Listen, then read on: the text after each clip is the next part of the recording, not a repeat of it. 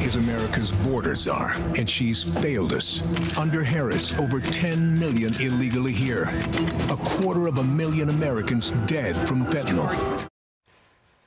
The Trump campaign releasing that new ad taking on Kamala Harris's failures on immigration as a resurfaced video from her days as a senator reveals what she really thought about ICE agents. The Klan was a, what we would call today a domestic terrorist group. Why, why would we call them domestic terrorist group? Because they tried to use fear and force to change political environment. Are you aware of the perception of um, many about how the, the, the power and the discretion at ICE is being used to enforce the laws? And do you see any parallels? I, I do not see a parallel. nope, I don't right, see a parallel. I don't think so. Nice try. Sean Hannity joins us now to react. Sean, that's not going to wear well, and it hasn't worn well, right?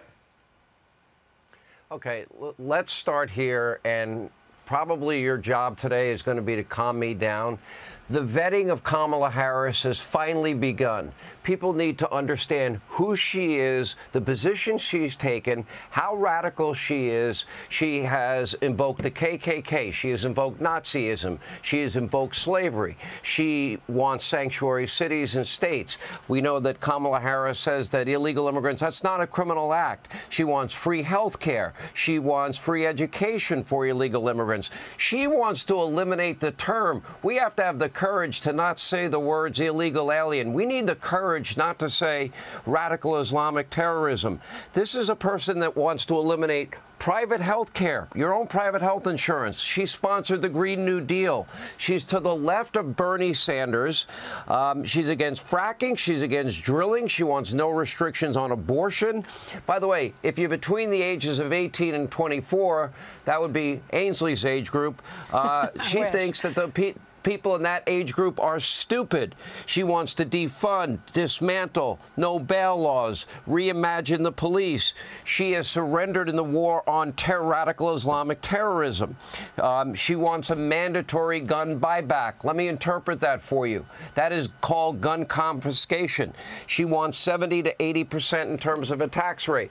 Let me tell you, I have a list right here of four pages of small print names of Joe Biden and Kamala Harris's illegal immigrants right. that have murdered Americans. We know some of their names. Most Americans don't know all of their names. That little 12 year old girl, Jocelyn Nungaray in Texas, brutalized for two hours, raped and murdered. We know the name of Rachel uh, Morin, and that's the mother of five that was murdered by one of Joe and Kamala Harris's unvetted illegal immigrants. Uh, we know the name Laken Riley. We know about the, the 13 year old girl raped in broad daylight in Queens, New York. Listen, let me put it this way, and I said it last night, and I'll say it every night between now and election night. Kamala Harris and Joe Biden, they have blood on their hands. They have facilitated this. They have aided and abetted in the law breaking. Mm. And they must be held accountable. And the worst part is, Brian, is they don't even call these families. They don't right. say they're sorry. You know, they don't rethink their position. Pete Buttigieg says, Brian, prospectively, proportionally, illegal immigrants correct less crimes than any American. What's your answer to that? I didn't hear the, the last part of that question. what part? Pete Buttigieg says on Sunday that illegal immigrants commit less percentage of crimes than the average American. Uh, what she is saying is just a lie. She's the most radical person to ever run for the position of the presidency. You know, with this last minute change that we have, it has changed the, the dynamic of the race. And I know it has created in some people's minds upheaval and anxiety and you know every election season we're 90 what seven eight days away from election day and everybody it's an emotional roller coaster and people have to understand if i'm the trump campaign you have one job and that is to inform the American public of her record. Use her in her words. The media in this country mm. is so abusively biased and corrupt, they're not going to vet her. They are going to give her a pass. Everything that I just mentioned is not going to come up unless the Trump campaign brings it up. It is there. It's on them to make sure every American, before early voting starts in 46 days in Pennsylvania, is aware of her radical record. Sure. If they do that, Forget about all the criticisms of J.D. Vance and all the distractions and Republicans are racist, sexist, and homophobic, xenophobic, whatever. America won't vote for her. That's my position. Sean, it's not just Yes. the media, it's big tech, too. Here we go again. After Sure. the assassination attempt on President Trump, Facebook censored the iconic photo of Trump getting up with the blood on his face and the fist in the air. They omitted that. And they said it was a mistake. Then Google, if you type in the phrase the assassination attempt of, there are no results for Trump. They said on Google, we're rolling out improvements. This is what Kurt Knutsson, the cyber guy, said about it. Listen.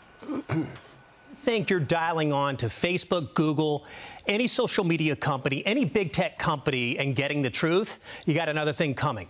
It is being shaped and censored in the direction they want to provide to you. They'll say in hindsight when they're called out on it, oh, we did that for national security. Oh, or that was an accident. We don't know how that happened. And our algorithm's such a secret sauce, we can't even tell you how it happened. That's all bull. The fact is, they're operating the way they want to operate. And whether they're censoring or not, the sad part is you and I don't know about it until today we're sitting here and calling it out. Sean, what's your response to that? They censor any of the search results. You have you were right. The media doesn't talk about her record and how radicalized and how progressive she is. Ainsley, you can't underestimate the importance of your question, and, and I am really serious. You know, Jim Jordan of the House Judiciary Committee was on my show, and he said, We found evidence, Sean, that your social media accounts in 2020 were being suppressed by your government. Uh, on top of, of course, every text message that I've ever sent out whenever they feel like releasing them. Unlike Peter Strzok, I'm not getting a $1.2 million payout in, in in spite of the fact that they violated my privacy. But let's go back to 2020, and this is where it gets very relevant. In it, the, the FBI in March of 2020, they verified the authenticity of Hunter Biden's laptop. They knew it was true. Now, why in the months before the 2020 election was the FBI meeting on a weekly basis with big tech companies, warning big tech that they may be victims of a misinformation, disinformation campaign regarding either Joe and or Hunter Biden? And then when the laptop story, the very true laptop story, was broken by the New York Post, uh, uh, companies like, at the time, Twitter and Facebook they went to the FBI. The FBI had already verified the authenticity of the laptop. Then they asked, well, is this what you were warning us about, or is this story true? The FBI knew it was true. They didn't Gotcha. answer the question that it was true, and they did it as an in kind campaign donation, just like they used Hillary Clinton's dirty Russian disinformation dossier in 2016 uh, as a means of getting not one but four FISA warrants. Just like 51 former intel agents, they were organized by Wink and Tony Blinken. They knew nothing about Hunter's laptop, and they lied to the American people. We have we have a deep state in this country that, frankly, is putting their their their entire organization's Right. weight on the scales of an election. How about yeah? Sorry. How about rewriting headline from 2021 to make it seem as though she wasn't the border czar? That's the craziest thing. Uh, nuts. Hey, Sean, it's going to be. I'm going to make sure to watch your show tonight. Uh, there's a lot of things going Right. on, and we'll see if the uh, the Trump campaign can you we're switch doing, Brian. from Biden to Harris. Bri- Brian Ainsley and everybody watching, we, I am going to do the job along with many of us on here on Fox. I will vet Kamala Harris so that every American knows just how radical she is. Well, every night you Once play her the sound American bites. people It's, it's not just you heard Yeah. that she said this. You're actually playing the sound bites of her radical pro- progressive Yeah. views. Right. All right, heard Sean. her own words. Yep. we'll make sure to watch. Promise not to wear a tie. Appreciate it. Thanks, guys. Thanks got for waking up for us, Sean. I'm Steve Doocy. I'm Brian Kilmeade. And I'm Ainsley Earhardt. And click here to subscribe to the Fox News YouTube page to catch our hottest interviews and most compelling analysis.